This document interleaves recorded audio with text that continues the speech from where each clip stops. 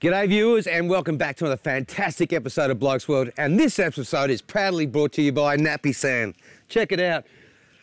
Oh, oh, look, actually, you changed all your gear. I'm the only manky one. But today is day four of our ride and we're heading up to check out a Huey. Tell us what's happening today, Dave. Uh, we're going to do a short ride for about 50 k's to the Huey today. Yep. Then we've probably got another 100 back into Pai. Excellent. Now, Pai is probably the biggest town we'll see besides Chiang Mai on this ride, huh? Yes, it'll be the biggest town. We've got plenty of walking streets. Yep. So it's very populated because it's so close to Chiang Mai. Yeah. Awesome. Can't wait for this. But anyway, enough of the big talk. We've got so much to put in this episode. Let's start the bikes and the episode. Enjoy.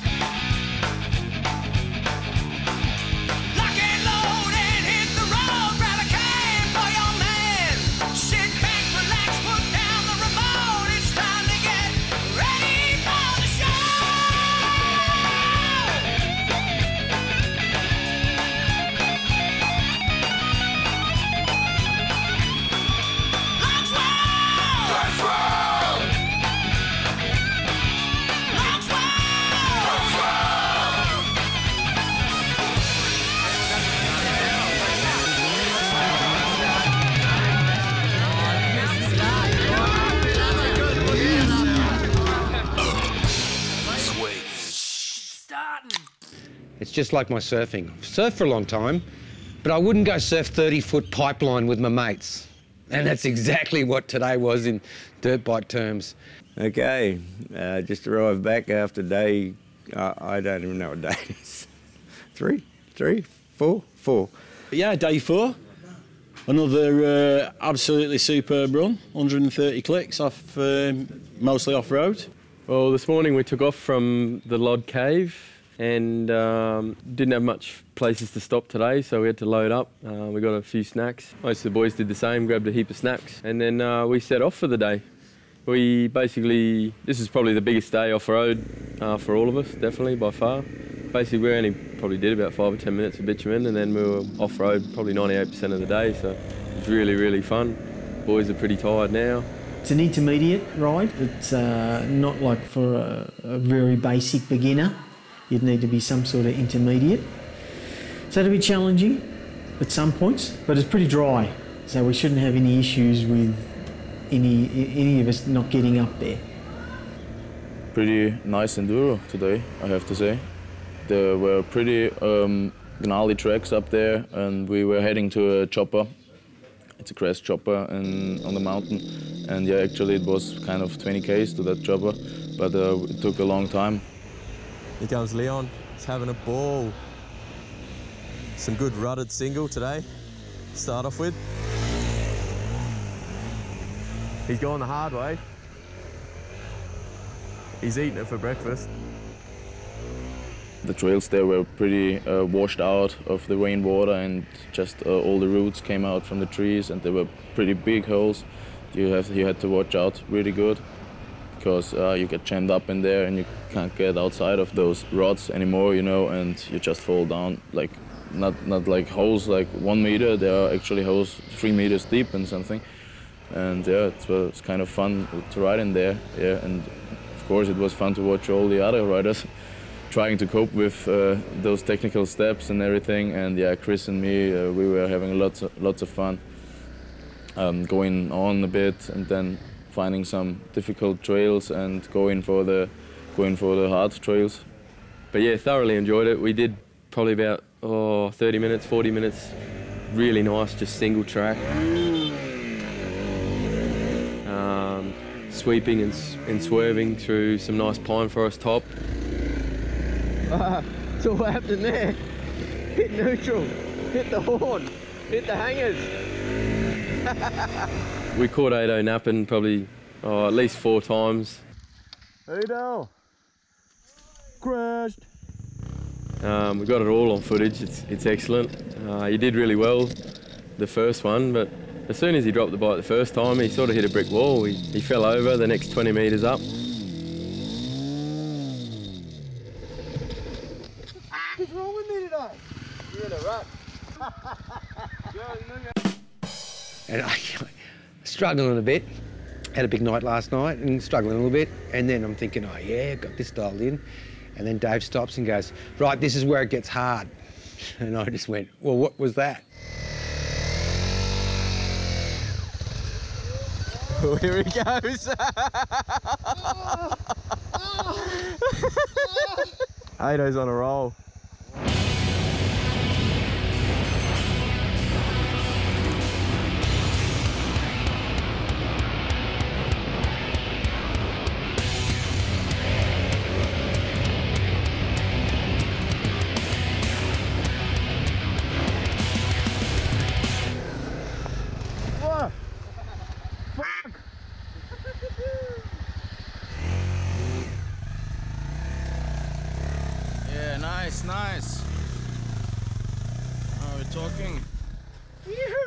The way you do it. Check that out.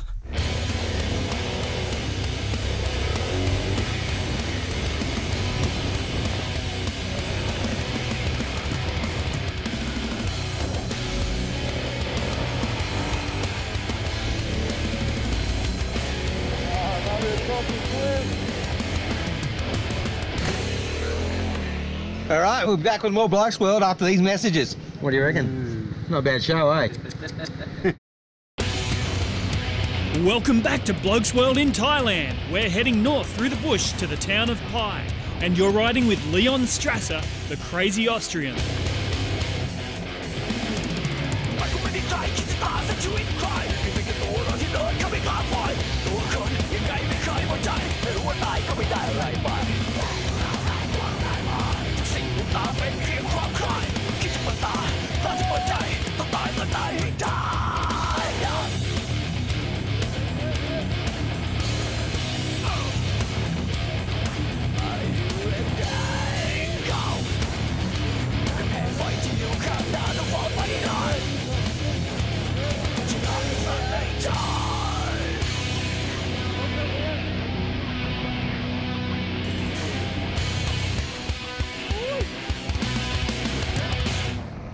Did lead the two guns for a while. Every now and then, you just want to let go and you, and you go nuts. So, you know, you take the chance that you're going to lose a bit of bark. Yeah, so they're incentive to me because when they took off behind me, I sort of said to myself, I said, self, this is not going to be pretty.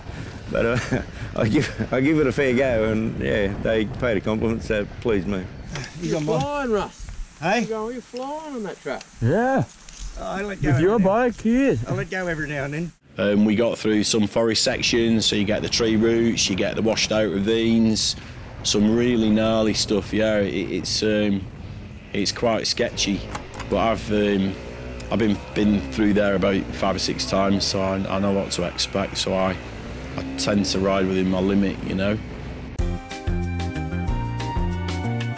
I cross-rided on that log and I'm Man, what is Chris doing? Oh, that is doing. Wow! and it just went I had seven crashes today. So that's, that's a new record for me. And I'm driving along thinking, you know what, I'm finally going to take out a title on this tour. Best crash. And from nowhere, Chris Warwick has just come in. We're on this trail, and Chris, uh, Chris Warwick and Leon were doing an Erzberg line. And he came flying down in front of me. His, his back wheel just hit a, hit a rock, and he just flew into this log. Oh. And it was like a log that was laying on the ground that had all the these branches cut off, and his head just went bang in between these two branches.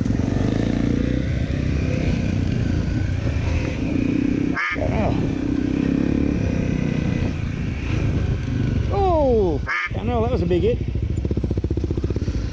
That was a big hit. Oh, his arms. You right?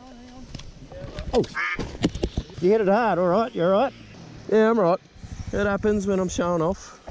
And so that kind of was a bit of a wake-up call. So then we got back on the bikes, and then all of a sudden, from going from real tacky, it was real nice and tacky, it went into this real, it's virtually like concrete. this clay. It was just concrete and it had like gravel that was like kind of like ball bearings. All you had to do was just touch your front brake and the whole bike would just completely wash out on you. So I came flying uh, around this one corner, you know, what you probably won't see on the GoPro because it was facing me, but to your right was a good 200 metre drop down this cliff. And so I was doing everything to stay on this side. And I came flying around this corner, you know, and just, I don't know what happened. I think I was just a bit dehydrated and a bit foggy in the head and just took a really bad line and then just had a panic moment and just pulled the front brake and the front tyre just started just sliding.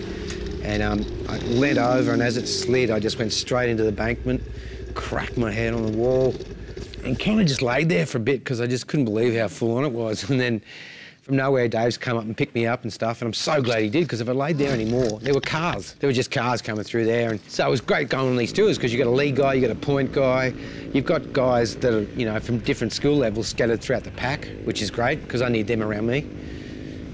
Um, and we yeah moseyed on uh, up to the uh, the famous uh, chopper, the uh, crashed Huey helicopter, which according to David it crashed in 2009, but by my reckoning, it was 2011. So we'll confirm that later and he can buy the beer.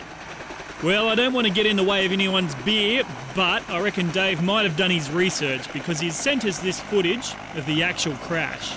And it's not really a crash, it's more of a hard landing. It's sort of intact, but there's lots of people been scavenging off it and taking bits and pieces as souvenirs. It's really cool just to see, you know, how many people have visited. You know, a lot of people have etched their names into it, and um, a couple of cool stickers on there from from tour groups. Definitely something I won't forget. And uh, the boys are behind me now, looking, taking parts off for souvenirs. Man, it's absolutely awesome. Anyway, right now let's cut in and see what Camera 3's up to. Here as the uh, support team has pulled into Pai, a bit ahead of the bikes. They're out there checking out uh, helicopters and stuff. So we thought we'd come and have a late afternoon, bit of stir fry.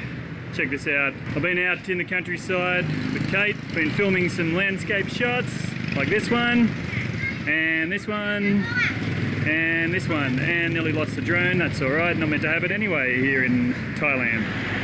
Three, one, two. Three, one, two, and we'll be right back after this outbreak of verbal diarrhea. Happy days, Alan. Welcome back to Blokesworld in Thailand. We're here riding through the north of the country with a ripping little tour company called Enduro Tours Thailand. Accept no substitutes because apart from knowing all of the bush trails like the back of their hands, they can also show you cool stuff before and after your ride. And for us, that included a local Muay Thai tournament in Chiang Mai. You know what? I'd like to tell you where we're going, but the first rule is I can't talk No, about it. No, you can't. You can't talk about it. Can't talk about it. Can't talk about Can't it. talk about it. Can't talk about it. That's the first rule.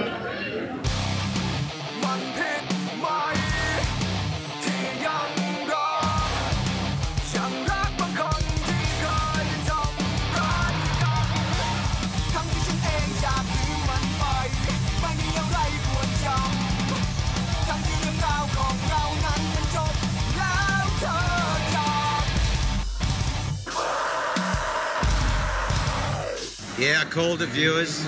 Red one. Just won myself 30 bucks. Might lay on another bet.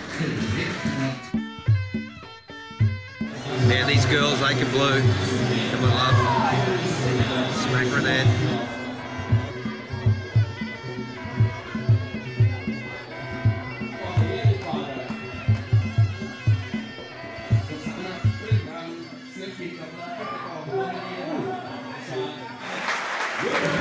the. The chicken, the red one, I'm up two fights.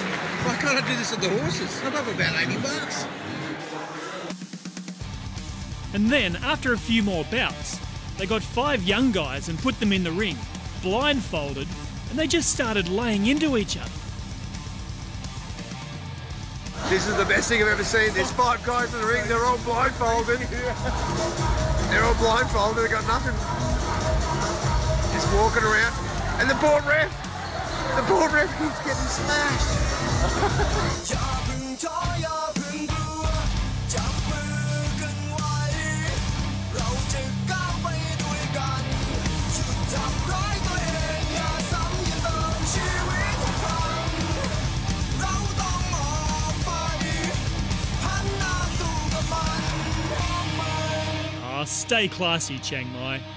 But anyway, now let's get back on the bikes and see what the boys are up to as they head in to the town of Pai. After the Huey, we uh, got to move on up the trail, and one point there, it was probably about 20 minutes in, I lost the front end, and um, I didn't crash, luckily, and but I completely lost the front end, and I was like, I wasn't uh, overdoing it. I wasn't out riding the bike like I have been the, the probably the past three or four crashes or near misses. But um, yeah, I, I, lost the front end, and I was like, oh, that's that's probably going to catch a few people out. You know, that's that's uh, something that was out of my control. Managed to catch it and move, keep going down the trail, move on, and then uh, we got to the next little waiting stop, and Dave's got the, the first aid kit out. Ado's got his sleeve half rolled up, so we're like, oh no, what's he done now? Wasn't over yet. We still had a, a fair bit to go, so I was a bit worried for Ado. He was, was looking a, a, bit worse for wear, and, and I was starting to feel my head started throbbing because I've, I've hit the head, my head pretty hard in my crash. It was probably another 15 k's, I reckon, of off roads. And uh, and so then yeah, we just cruised through there, made it back down that hill, and then um, thank God we made it into town. I had a lot of close calls, of course, a lot of near misses, and a lot of those moments you're just getting awake again. but uh, I'm very lucky till now. Kind of embarrassing because on the second day I said you aren't riding when you aren't crashing, you know. So I gotta start riding now, I guess. Don't go anywhere, viewers, because after the break, the boys finally hit the town of Pai. G'day and welcome back to Blokesworld. We're at the end of day four of our five day dirt bike tour with Enduro Tours Thailand. The tour started in the city of Chiang Mai, and today the guys are rolling into the second largest town we'll visit, Pai. Yeah, so we just arrived to our digs and we are the walking dead. Ted said, I need a Zimmer frame. and it's not getting any prettier as the hours go on. But we're about to do a Logie shoot, so I've got to be quiet. So we're into Pai. We, we uh, out of the mountains and we might be only five kilometres out. But as we're riding through, you get to see all the rice fields. Lots of uh, uh, residential homes are there as well. A good kilometre or so would be rice fields that you get to see. Bit green today, so it was all good. And uh, lots of um, apartments, holiday homes, all sorts of guest houses, bed and breakfasts. So we're very close to town. We get to see uh, the main river next to town. We go over the bridge and then we're straight into like Walking Street. But that doesn't get closed until uh, seven, eight o'clock at night, and then all the pedestrians pretty much take over. It's probably the most popular tourist um, destination outside of Chiang Mai. We're actually located in the Pai Valley, uh, we're, so we're surrounded by mountains. Um, it's on the uh, Mae Hong Son Pai loop from Chiang Mai. So there's a lot of bikers coming through this place. Great restaurants, great nightlife, and, and a really good um, night market with um, food stalls. But it, has been a long day. Today's been easily our biggest day of riding. You know, I, pulled up and um, I said to Russell, come on, man, we got to go do some drone shots. And he went, how many? and I said, oh, no, they'll take, this won't take long. So we bumped into you, camera three, and you got the drone up, and we were doing a couple of passes. And then I said to Russell, come on, man, we just got this bridge shot of us driving into town, and it'll look brilliant. He'll go, yeah, okay, but we're not doing the one coming back. I think camera three just diagnosed me with dehydration and everything else and heat stroke. So I'm not know 100% at the moment, but I'll come good as soon as somebody shows me beer. I've done it a, a, couple of times in the wet and the dry, and when it's like that, it's it's pretty hard work. It's not easy.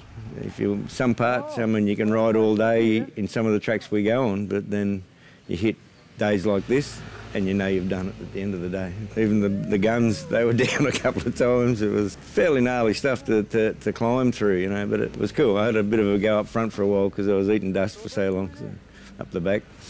He was, you know what he was like? He was like when, you know, when you go around a horse and the horse can just plod around all day.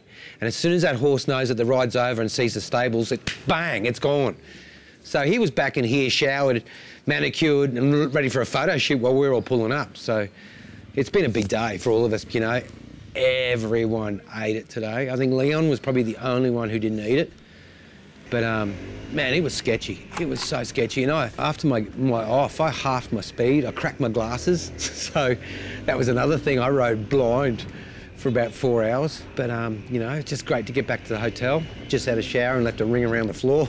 And, um, yeah, now we're just going to sit down, chill out, have some beers and wait for the bruises to come up. Yes, uh, apart from that, um, just a good day. I think the young blokes had a, had a really good day today. They, they got to stretch their legs and stretch everything and have a good time. Yeah, the trail's absolutely awesome. The single was, was incredible. Me and Leon played around for a good hour or so, had a bit of a play around and just let the boys catch their breath. Me and Leon sort of went on a bit of a trek for ourselves and found some nice singles up and down hills. And Oh, this is so much fun. Yeah. But those thorns aren't that much fun.